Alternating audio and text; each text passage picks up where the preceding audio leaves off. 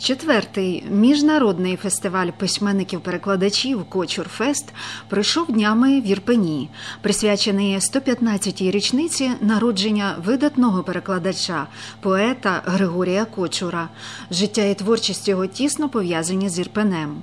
Відбувши ув'язнення в таборах Гулагу, всупереч тоталітарному режиму, займав принципову позицію. Іноземні зразки літератури мають бути перекладені українською з мови оригіналу.